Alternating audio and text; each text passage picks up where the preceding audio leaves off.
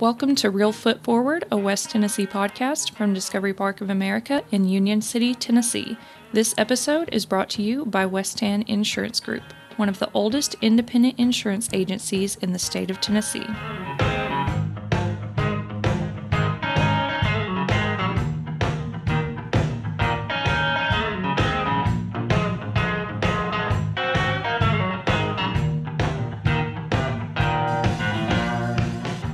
Thank you, Emily. Welcome to Real Foot Forward, a West Tennessee podcast where we explore the history, the people, and the culture of our home in West Tennessee. I'm your host, Scott Williams.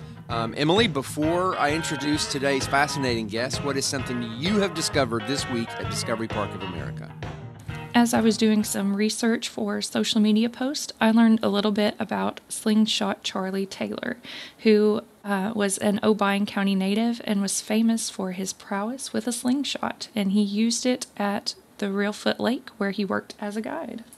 Yeah, his whole story is fascinating to me. There's also a photograph in our um, in our uh, gallery there where his uh, slingshot is that is from some kind of an outdoors conference that took place in Chicago, and he's in the very middle of it. And there's literally a thousand people around him of all different, you know, all different types of hunters, and there's hunting dogs. And anyway, it's uh, really he's got a really interesting story. So thank you for sharing that with us.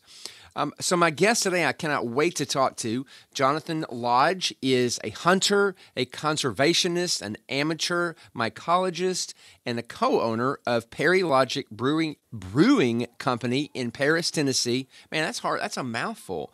Um, and, he, and he goes by John. So, welcome, John. Hey, man. Good to, good to see you. Good. Thanks for having me. Hey, yeah, I mean, we've got a lot of stuff we're going to talk about. So, first of all, let's start from the very beginning. Sure. Uh, tell us a little bit about where you grew up and what your childhood was like. Well, man, uh, to make it easy, uh, my, my father is a minister, and, and we moved to uh, West Tennessee to Paris uh, when I was about five years old.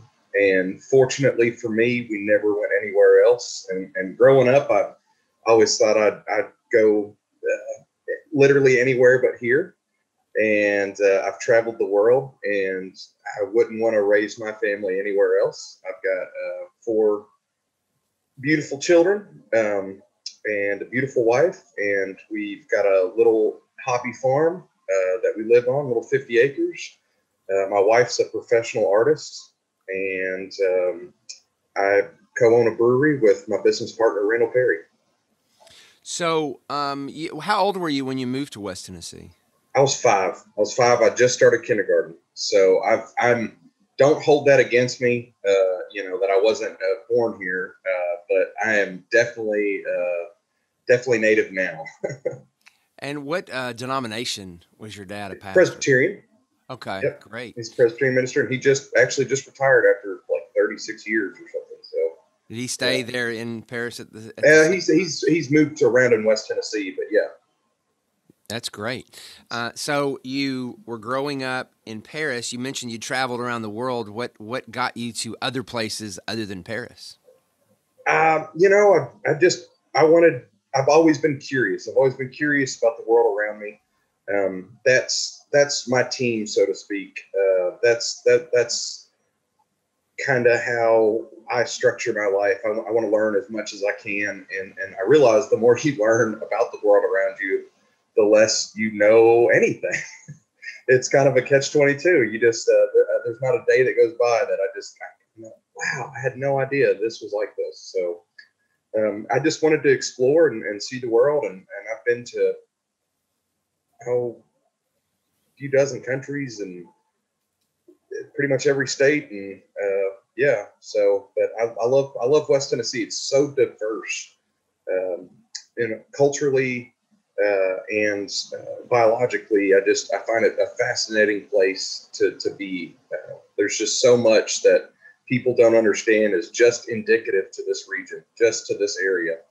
Um, and my, mycology, my study of mycology has kind of helped me figure a lot of that out um, as far as the uniqueness uh, of of this area. What was the first place that you visited as a young person outside of the United States? Oh man, um, we went to my my family and I. We went uh, to Europe and we did like a European. Um, you know, we went to London and Paris and Germany and Switzerland and, and all that, and uh, we were gone for a few weeks.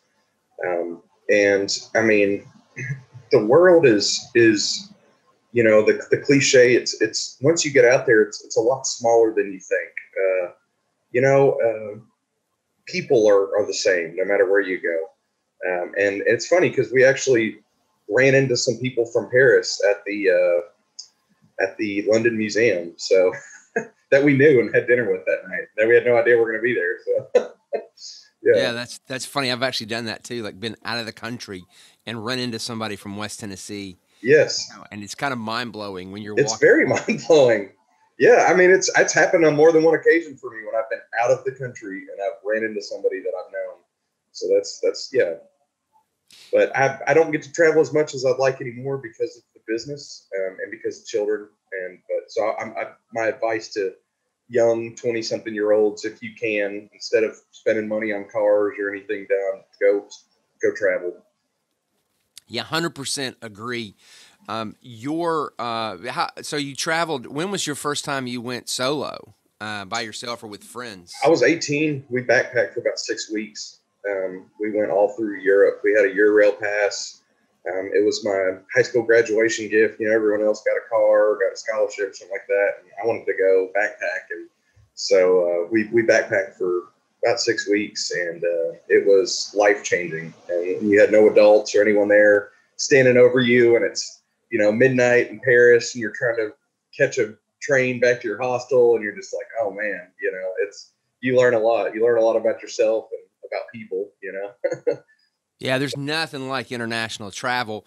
You know, Discovery Park was in a lot of ways built you know, Robert Kirkland was big on travel and exposing people to ideas and places and things that that were would be inspirational and life changing. So it sounds like you're you're doing that. Uh, you've been doing that your whole life. Yes, yes. I, like I said, curiosity is, is, is, what drives me, and what's fascinating to me is as I've uh, become an adult, I've I've realized that there's so much to learn culturally about the place that I'm living that I had no idea there's so much history um, right here in West Tennessee that you just you don't even realize. I mean, um, three days ago I was on the phone in my front yard and picked up a, a Adena uh, Adena point from the Adena culture out of the Ohio Valley. I was just sitting in my front yard, uh, probably you know eight thousand years old, just just right there, and I'm like, what in the heck? You know, you just have no idea the multi layers of experience that exists, you know, beneath our feet, uh, and with the people that are still living that are bridging generational gaps that you can learn so much from. Well, the first step is being able to recognize one of those when you come across it. So a lot of people would pick it up and throw it into the woods. yeah, yeah. This wasn't a whole point, but it was definitely, uh, definitely it was a, a Adena point. So which you identify by the base. But I've I've always just been fascinated with the idea of of find like seeking, you know, so seeking knowledge. So foraging came it became such a natural part of of my my life because I've always been a hunter, I've always been a trapper, I've always been a fisherman, I've always been a steward of the land. Um, but you know, uh, hunting and trapping and fishing are hard, so you kind of come up empty-handed, and and so when you integrate foraging into that uh, you know, you lessen your chances of coming home skunked. So you might find a big bag of chanterelle mushrooms, or you might find some, you know, shiso ready for the table, or any number of things. So. So let's back up a little bit. Was your father a hunter as well? Did he take you hunting, or is that something no. you came up with on your own? Yeah, that was definitely something I came up with on my own. He he's been very supportive, uh, and my mother has and uh, but no, it was one of those things. You know, growing up, it was just go outside and play, and um, I, you know, I'd get bored. Didn't have too many friends on my street. You know, maybe a couple, but you know, it wasn't. I just I wanted to be outside, so uh, you know, you you kind of find things to do, and and I had. Um, I'll never forget it. The the the life changing books, which I still have, even though they're full of crayons right now from the four kids that I've raised uh, uh, for the Audubon series. so having the Audubon Field Guide series, um, I, I can't even remember how I got started or who got me the first one, but I still have every single one uh, since I was a kid, and I still use them. Um, so it was kind of neat. I really got into herpetology as a, as a kid, and so that was kind of what I was foraging or seeking or hunting for a while. Was I, I, I would I would bring home a, you know a 150 pound uh, alligator snapping turtle in a in a red wagon, a radio flyer, and uh, yeah, just all sorts of wild. You know, I, I bring home giant, uh, you know, cottonmouth snakes or just you know, it was my my poor mother and father. You know, they they didn't really know what to do when I'd come home with some of these things. You know, and and uh, but it was just I was always studying, I was always researching, and I was always you know I'd learn the Latin names and I'd learn the families and I'd, I'd learn everything that I could about these things, and I just I was always fascinated by you know what's an amphiuma? I have no idea. I've never seen this, and so now then I have to go and find the the the place where they live, and I'd have to maybe set a trap or dredge it or something like that to try to even catch one or see one. And so, I mean, that has always been um, a part of me uh, loving animals. I've always had animals as pets. I've always rehabilitated animals. Um, so, and we still do. We still rehabilitate animals, um, which just where we live, we'll occasionally find a baby squirrel or some baby possums was this summer and and we try to raise them and, and release them back into the wild as best we can and, and, and it's it's a neat experience for the for the kids because it's not always easy and it doesn't always work. Sometimes they die, and these are important life lessons, you know. now, what are the ages of your kids now? Uh, I've got two, five, seven, and eight. Wow! So, so you're busy. We're busy. Have you taken them uh, because of COVID? You haven't probably gotten to travel as much. Have they been out of the country yet? No, no, they they haven't. Um, you know, yeah, the the whole the whole COVID thing, we've we've just tried to uh, try to be safe, buckle down, and we spend a lot of time outdoors. You know, vitamin vitamin D is really good for you. We, we when they get together with friends, we try to be outside as much as possible. Um, you know, um, but but the bounty of of nature, it it offers so much more than any TV show or internet or video games. And I'm, I'm not opposed to any of that stuff, but you know, there's there's just something to seeing your your child for the first time shoot a squirrel or or, or catch a fish or a frog or any number of things. You know, so my my my my son in particular, he's kind of uh, carried the torch, and he'll bring home giant bullfrogs and musk turtles and all sorts of stuff. So, yeah. Now, did you? So in high school, I'm sure you did great in biology and pursued yeah. those type of interests. When it came time post high school, did you uh, know which direction you wanted to head uh, career wise? You know, I for whatever dumb reason I studied philosophy. Um, I love philosophy. Um, that's uh, went to Murray State, um, great school. Uh, you know, it's given me a lot of tools for life for me to be able to um, communicate better, uh, problem solve, critical thinking, these these type of things. Um, but you know, as of now, I, I, mop floors and wash dishes for a living. I mean, that's what I tell people I do as a brewery owner. I mean, that's you know, do a lot of taxes and take out clean toilets and take out the garbage. So that's kind of the the the vanity of, of, of a brewery owner. Um, that's but, the hospitality business in general. absolutely, absolutely. Uh, so, uh, where, where did you? So you majored in philosophy. By the way, my daughter just graduated with a degree in philosophy. So hopefully, she's um, going to be a lawyer. You know, right? yeah, yeah, we'll see. She's okay. trying to decide. Uh, yeah. she likes she likes social work too. She's she's awesome. a helper. So so yeah, yeah. There's not too many uh, classified ads. You know, wanted philosopher you know. right, but we we have a great time uh, talking about big issues of the day. So yeah, sure. Um, so you, what was your what was your first job out of college? Man, I have worked since I was a kid. I mean, I've I've I've had. I've, I've worked my entire life. Um, I've worked a lot of the hospitality uh, industry, um, mostly restaurants.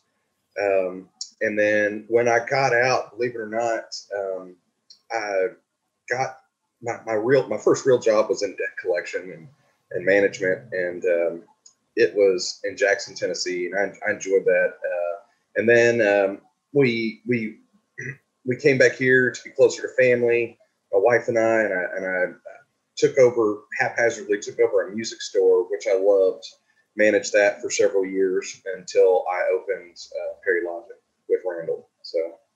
So you and Randall Perry were, were buddies, I'm assuming. Yeah, yeah. I was actually teaching him guitar lessons at the music store. So yeah. Okay, so and you guys are are uh, were you already making beer as a hobby? Well, I've just I've always been a foodie. I've, I've always loved food and cooking, and I, I you know I'd get into cheese making or get into any number you know baking or any of the technical you know pastry or whatever. And and um, my wife got me a or my mother in law actually got me a beer making kit for for Christmas uh, one year, and I, and I, was, man, this is awesome. I'm, i love beer. I'm going to make some beer, and I, and I, made a batch, and it was awful, absolutely terrible. And so, uh, so then, I, then I got frustrated, and I said, okay, let me do some reading and do some research. So I, did what I always do, and, and then it was awful again, my second time. So after that, I, I, I said, I was giving Randall a guitar lesson. I said, hey man, I know you make wine. You ever made beer? And he said, yeah, I've made beer a few times. I said, man, I've made it twice, you know, and you wait 30 days and then the after 30 days it was just terrible. Could could you maybe help me out? And uh, we just loved it so much. We got together and, and, started brewing, and it became a weekly thing. And we were brewing all the time and giving beer away. And it was just a natural progression towards man. A lot of people love this product. Let's uh, let's let's do it for a living. So and for people was, who for people who aren't who get their beer out of the refrigerator case, um, right. What exactly is you know you guys were brewing on the weekends? What what does that entail? well, it, uh, it involves making your wives very angry because you're you're stinking up the house and making a mess. but uh, you know, essentially, they have these dehydrated sugars. Uh, is essentially what it is, and and they're they're you you pre they're kind of pre-mixed, and you then add your your your fungus, your yeast, and uh, and then you sit and you, you let it bubble away in a corner and, and then you kind of bottle it up with try to clean bottles out and it's it's it's a lot different than the commercial process um, but the actual um, the actual ideas behind it are the same. We've the we've been brewing the same way for 12,000 years. So um, it's the same methodology essentially um, that has is unchanging so it's just you know sugary water that you ferment um, and, and you ferment that with uh, with yeast, um, which is a type of fungus. And um, so now, obviously, I have we have a lot more equipment now to be able to do that, uh, to to have it consistent and, and so forth, and lots of lots of that type of you know. So somewhere along the way, you guys decided to make the leap from just weekend amateur, you know, to, right. to professional brewery. What yeah. what went into that that thinking? Oh my goodness, man! It was, you know, the it was exciting. Obviously, the thought of it was very exciting. Um, the you, with any new business venture, you try to project pitfalls and and and issues that you might have and successes and you know the, the, these type of things. But I, I can safely say I can speak for for both of us that we faced some things that we just weren't prepared for um, that were just absolutely overwhelming that we had to overcome. Uh, like we, for instance, we had ordered some equipment from overseas and it got caught in the longshoreman strike that you probably don't even remember that no one else does, but it was everything to us because we sat and watched our equipment circle on the ocean. Um, so you know we had to learn three phase power um, to bring to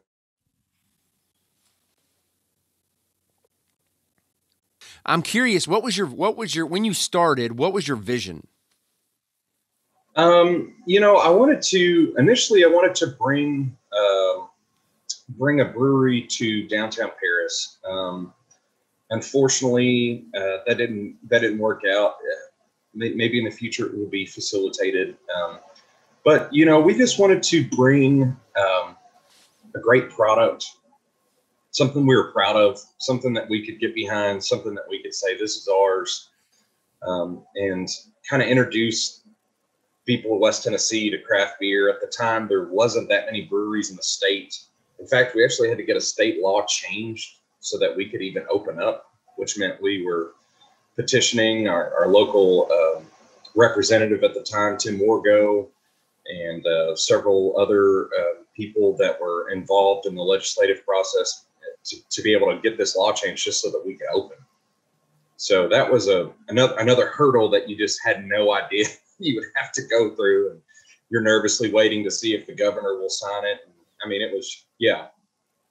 So as far as our vision, you know, we we've always been very fluid. I think that's if you're going to be successful in business, you kind of have to do an about face when you realize something isn't working out. So we've we've always kind of um, adeptly changed our business model to fit the needs of the business, so to speak. And we listen to our customers. That's a big, big thing. So try to listen to our customers and, and try to give them, listen to feedback and give them what they want.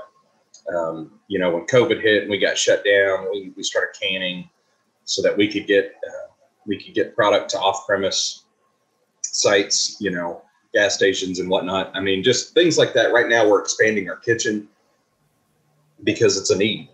So um, that's just it's it's evolved. We we've we're constantly buying new equipment and, and trying to get better at what we're doing. It's you're never done. You've never you, you've never said okay, this is where it's supposed to be. This is this is it. You know, you, you there is no end when when you're offering something like this. You you you work hard for for the people that want it. So let's quickly uh, talk about your logo because I understand it was done by a very special graphic designer. Yes, yes. My wife does all of our artwork.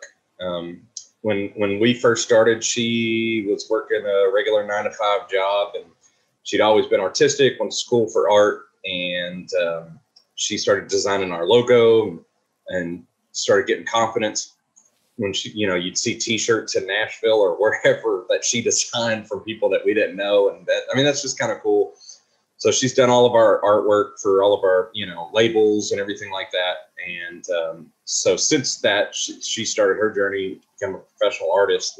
She's very, very successful. Does mostly commission work, and um, she's working hard right now. So, so what's the symbolism behind your logo?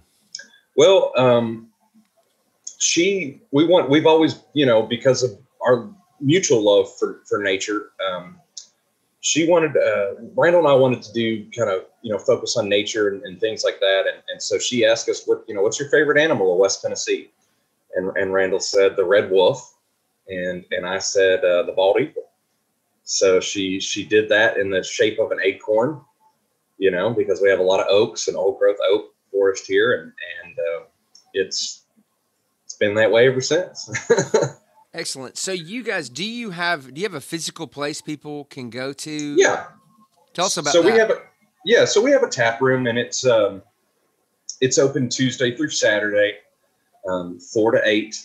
Uh, we it's it's open for families. Um, there you know there's no smoking or riffraff or anything like that. It's not a bar. Um, there's of course other drinks besides beer.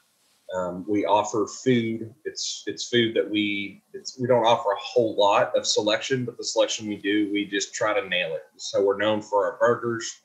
We have the local butcher shop grind uh, whole sirloin and briskets to, to make our burger patties fresh every week. Um, and then we smoke them, and then we hit them on a grill, and uh, and then you dress them up however you want. And uh, I mean, people come people come just for the burgers. So, and then we offer weekly specials that change, and we try to do everything that we possibly can in house. That's important. We try to just do it authentic and and just like our beer. You know, we're not buying anything frozen. We don't have microwaves or anything like that. You know, so we, we try to take a lot of pride in any product that we're putting out. So for folks, it makes a difference for folks who are uh, coming to visit Discovery Park of America and they've never been to Paris. Can you describe Paris a little bit for listeners who maybe think Paris is the place in France with the Eiffel Tower? Uh, it's like uh, it's like the place in France uh, and Mayberry, if combined. Uh, it's a it's a great community, man. We we um, we take care of ourselves. I mean, we we try to help each other out. We have tons of charitable programs that are, are, just help out our community and help out other communities. Um, everyone here is just amazing. Um, the town is is not too big. It's not too small. You know, you're two hours from Nashville, two and a half from Memphis, four from St. Louis. I mean, you're just you're an hour from Paducah, an hour from Jackson. You can get to the big city, but then you can come back here and enjoy the splendor of the Kentucky Lake area, which is a big part of, of, of our community. Um, and we, you know, we have a, a wonderful wildlife reserves and, and land between the lakes is 20 minutes, you know, just down the road, which is an amazing uh, national recreation area uh, that I spend a lot of time in myself. Um, so Paris just offers a, a, a, bounty of natural resources and just a great community. Um, it's very united, and it's less than an hour from Discovery Park of America. That's right. It makes a great, right. a great trip. Uh, I, I, have not been uh, to your tap room, so I just added it to my list of must dos uh, this this fall. So we're going to take a quick break, and when we get back, I'm going to ask you about mushrooms. Awesome. West Hand Insurance Group offers the best insurance products with exceptional customer service. They specialize in coverage for business, bonds, life and health, home, autos and ATVs, boats, motorcycles, and more. With over 30 companies to choose from, they can easily find the right product for you, your business, and family. To find a West Hand insurance agent closest to you, call 1 800 467 5453 or visit www.westhandinsurance.com. I hope you're enjoying Real Foot Forward podcast from Discovery Park of America. If you are, please be sure to subscribe, rate, and leave a positive review on iTunes, Spotify, or wherever you listen to podcasts. This is your host, Scott Williams, and our guest today is John Lodge. He's a hunter, conservationist, amateur mycologist, and co owner of Perrylodgic Brewing Company in Paris, Tennessee. Um, so I'm I'm interested in uh, mushrooms. Uh, for people who didn't know, mycology, I guess, is the study of uh, mushrooms. Uh, what what got you interested in that? Well, I, have so we we live in a um, a mycophobic culture in West Tennessee. So meaning uh, most of us are, are pretty scared of mushrooms. So, um, you know, don't pick it up. It's poisonous. It'll kill you. You can never know the difference. You know, you can never know the difference between a poisonous mushroom. Even the experts, you can never know. You know, I heard that um, from from people growing up, and uh, I, you know, just like any other knowledge, it's it's not beyond the, the realm of learning and understanding. And I, I, got into it initially because I had a waste issue at the brewery. I, I was disposing of my um, my spent brewer's grain. So after we had gone through the process of extracting the sugar, we had leftover grain hulls that would spoil rather quickly. Um, you know, you're, you're you're technically not supposed to feed them to livestock, and and so we just had an issue. We might have you know several hundred pounds of this stuff as to what to do and how to properly dispose of it. So I started researching and, and finding out that uh, you know some people would use them to grow mushrooms, and I, and I thought, man, that is just I'd never even dreamed you could even grow mushrooms. And so I started researching, and uh, man, it has been a wild ride since then. I have uh, there's not a day goes by that I don't I'm not reading or trying to sharpen my sword, so to speak, when it comes to mycology because I'm constantly baffled. It's it's definitely in the realm of you can never understand or know everything there is to know. It's so complicated. I mean, you you you yourself are composed of multiple multiple millions of funguses that are are in our bodies. Um, we you know everything from Coca Cola to batteries.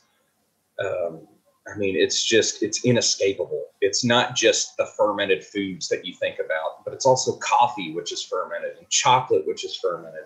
All of these things we wouldn't have without mushrooms. Um, and we're learning with soil science that um, that the healthiest soil science has you know a, a good microbiome of, of, different funguses. And uh, you know, if you're if you're growing an old growth forest, uh, the only reason why those trees have gotten as old as they have is because they have a mycorrhizal relationship with with a fungus species or two or three or four.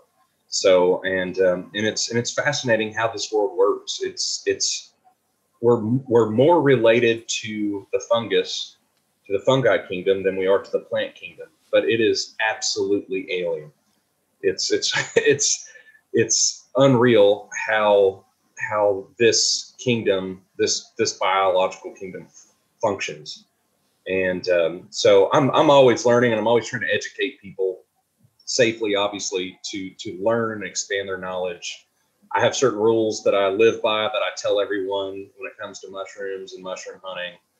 Um, you know, number one is if you're 99.9% sure, you just need to leave it in the woods. You you've got to be 100%. There's there's no guessing here because there are some that can kill you just like plants just like animals. I mean if you if you go and shoot a long-nosed gar and, and take the eggs and decide you're going to have some redneck caviar well it, you're going to die. It, it, will kill you. The eggs of a gar will kill you. Um, so if you take mullein, you know and, and decide you're going to make a, a tea out of it and you're using the, the, the seeds that will kill you. So there's there's i mean like i said we live in a, a mycophobic culture. I, I think I suspect the reason being is because this area was specifically hit rather hard by the Great Depression. So, coming out of the Great Depression with the New Deal and with World War II, um, it was, you know, kind of looked down upon to, to eat the weeds, so to speak, to, to do what the old timers were doing. And so, a lot of that tradition was unfortunately lost. Um, but there is, you know, accounts, historical accounts from trappers and and and uh, meat market hunters and and explorers, you know, utilizing, you know, the Ozark Trail. Famously, they had giant puffballs, saved a bunch of them while they were going through the plains one time, and they ground them up and made flour.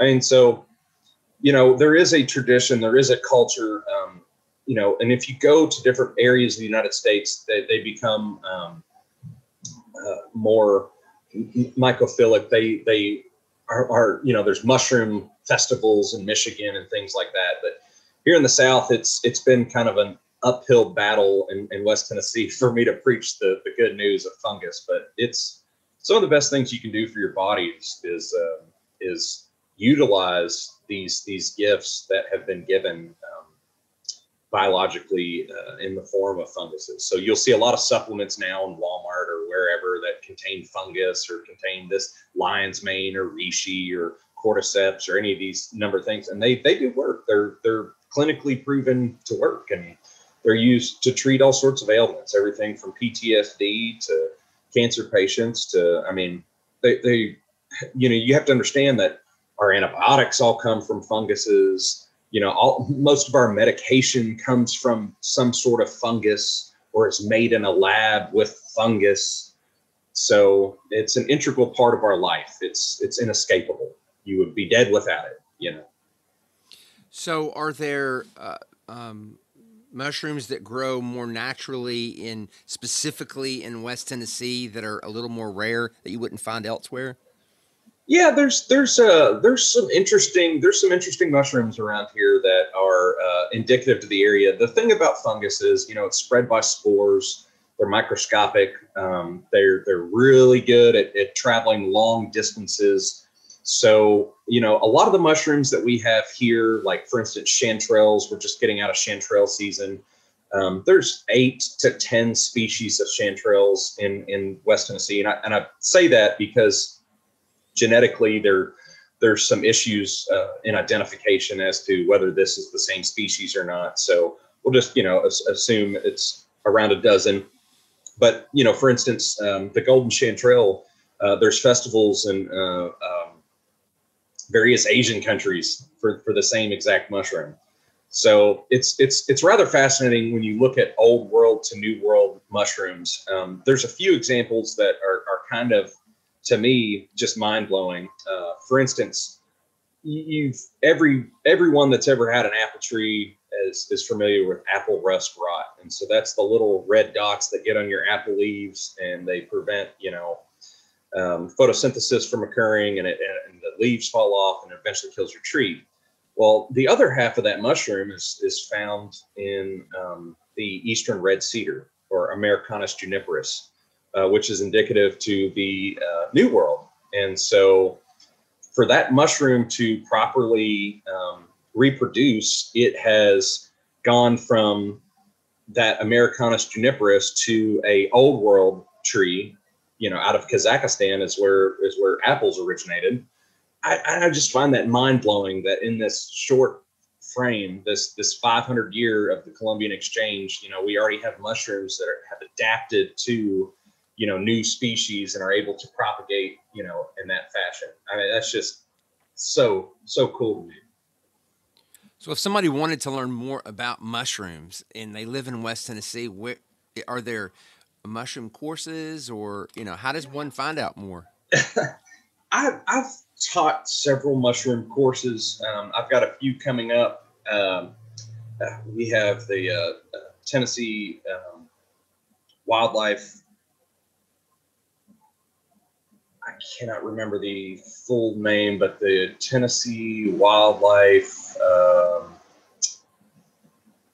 it's I'm drawing a blank. You know, we and, have and the we have the uh, Tennessee Naturalist program that we uh, for West Tennessee that we run out of Discovery Park of America. Oh, cool. Um, you know, so maybe we uh, we need to get you plugged in here at some point, or maybe for members, Discovery Park members. I would love to have a program here um, where you come and teach the introduction to, to yes i love it. I, I like to uh, i like to kind of do a hands-on. I'll, I'll, bring several examples some um, you know i'll if, if, depending on the environment i might bring some to, to actually try or, or, or just what things look like and or you know we might go out and forage. I've done several of those. Um, i've offered private foraging lessons.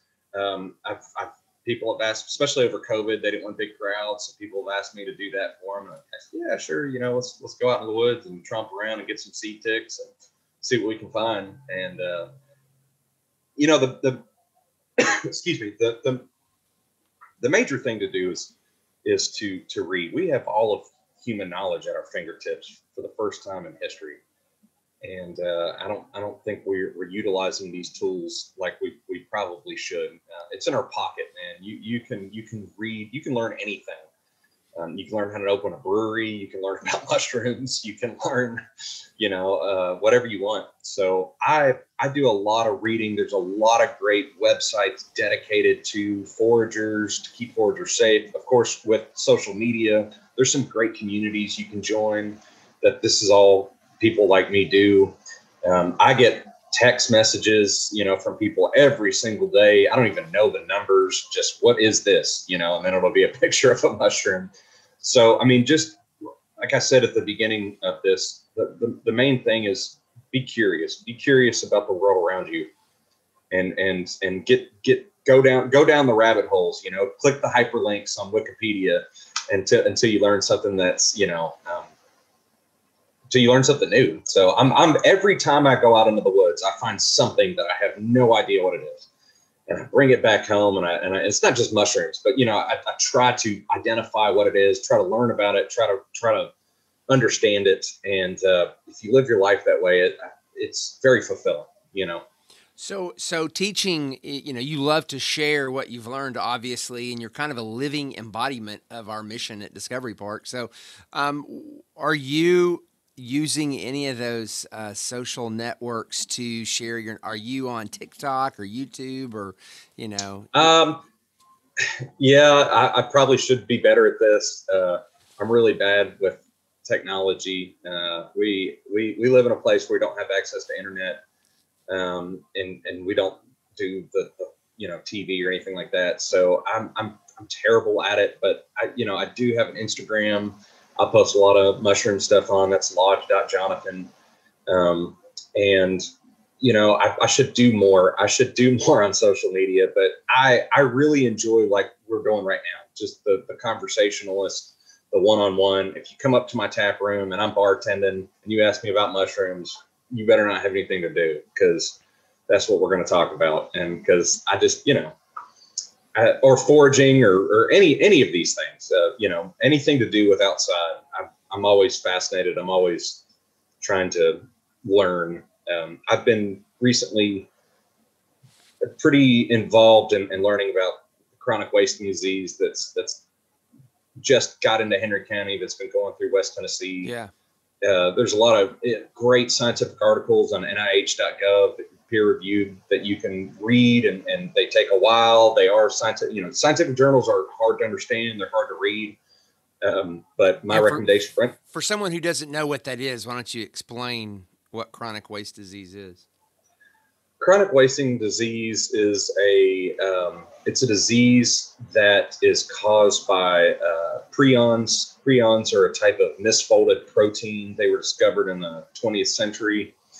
Um, there's no knowledge of them existing prior to the 20th century. Um, they're, they're somehow or another have been man-made. We don't really understand how, but we uh, we have affected their them into existence. Essentially, it's a terrifying disease because you can't cook it out of your meat. You can't um, you can't disinfect it. Um, it's not a living cell like a virus or a bacteria or something like that. Um, so, you know, a lot of people he- hearing someone like me talk about CWD, they, they kind of just shrug their shoulders, say, well, I won't deer hunt anymore. It's not going to affect me, or, or I'm not a deer hunter. It's not going to affect me. Well, these prions, they stay in the water supply for decades. Um, they just, they, they're, they're forever chemicals, so to speak. They, once they, once they're enter into you, you're going to have them forever. They're just, they're dangerous. Mad cow disease is, is probably the most famous of the priogenic diseases. Um, but, you know, it's something that as a community, we, we really have to do sound conservation techniques to be able to prevent the spread of it. But I'm a deer hunter and I love deer hunters, but deer hunters are hard headed. And to get deer hunters to do what deer hunters need to do in the next few years is really an uphill battle. And uh, um, there's some successful instances of eradicating CWD. Famously, Norway in the 70s um, had a great program where they actually eradicated it completely from their country. Uh, we could we could really lessen its effects here in the United States, but you know we've got to stop feeding deer. We've got to stop piling corn up. We've got to stop having salt licks. We've got to stop having these communal areas where deer saliva can be transferred. If you want to feed deer, plant a plot. You know the likelihood of, of deer you know, eating the same blade of grass is, is a lot slimmer than them standing over a pile of corn. You and I both have a passion for West Tennessee. Uh, you mentioned it earlier that there were things about West Tennessee that you felt like were unique to the whole rest of the world. What are some of those things for for folks who maybe haven't even ever been to West Tennessee?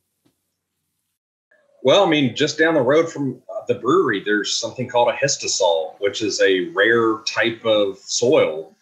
Um, and it was actually discovered uh, by a team, a, a friend of mine, um, that it's very unique, very rare um, to exist in the world. Um, I don't know all of the science behind it, uh, but there is a. So I'm not going to speak too far on it, uh, but there is a you know a plaque just down the road and, and talks all about it. And there's you know uh, Dover Flint is another one. Dover Flint was mined by Paleolithic Indians, uh, Native Americans, and it's been traded and found out west, found in Maine, found in Florida.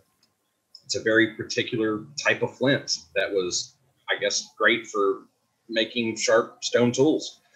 Um, so there's just there's a lot of those type of things that uh, I don't know people are are kind of unaware of. I'll tell you a, neat little mushroom, uh, little mushroom story. So um, the uh, Amanita caesarea. Amanita caesarea is a mushroom that is found in the old world. Um, amanitas are some of the most toxic mushrooms uh, known on the planet. And uh, uh, so the destroying angel, death cap, these are all uh, Amanita species. Um, and these these are the type of mushrooms that when you eat them, there's you go to the hospital and they're going to say call a call a preacher because there's nothing they can do it's 100% death. So it's they're they're pretty they're pretty awful. But the Amanita caesarea uh, was an edible mushroom. It was reserved for uh, the elites, Roman elites. Um, so after oh, I can't remember the the I know it was Agrippa. She it's Claudius. Agrippa poisoned Claudius with a bowl of mushrooms, and so the the Roman the Roman uh, culture became mycophobic, and, and they kind of stopped eating these mushrooms. But they would they're they're they're mycorrhizal. They grow in conjunction with certain trees. Um, and come out certain types a year, and and they would eat them. They would actually eat them raw, which I don't eat any mushrooms raw, just because of other pathogens and things that could be on them. Um, but so when a mycologist from Canada started finding them in North America uh, in the 1800s, um, he realized that uh, morphologically they were a tad bit different from the European varieties. So he named them after uh, the American Caesar, who at the time uh, was was Andrew Jackson. And so that that mushroom is Amanita jacksoni from where where you get that name. Uh, so I mean, that's just that's an interesting thing that that's just kind of indicative to this area. Um, you know, there's there's all sorts of little antidotes and and and, and remedies, I guess, so to speak, that that come out of West Tennessee in this the, the greater region um, that showcases our uniqueness. Um, Land Between the Lakes is absolutely one of the greatest natural resources that we have um, in in this area if you've not been, I highly recommend that you go because the the rock formations and and just the topography and how much the land changes on on that north south latitude is is pretty pretty incredible. And uh, there's then there's also after you get through on the water, you can go to the tap room and uh, that's right. Have one of those burgers. Right. You, have got yeah. me. Yeah, we're just 15 minutes yeah, away, man. Absolutely, yeah, right. man. I'm I'm ready now to, to meet you over there for yeah, lunch. Yeah, yeah, so thank you so much for being uh, with us. This was so interesting. I really appreciate you taking the time to to join us. Of course, and anytime you'd like to have me come do a lecture or anything like that at Discovery Park, I'd be glad to do it. Um, I'll, I'll bring I'll bring my whole plan down and uh, my kids and, and love Discovery Park. So we don't get there as much as we we should. If, if, if, they had it their way, we'd, we'd be there every other week. So. Excellent. Well, we will do that. And thank you to all of you listeners who've joined us today at Discovery Park of America. Our mission here is to inspire children and adults to see beyond. To plan an experience here for you and your family, visit discoveryparkofamerica.com.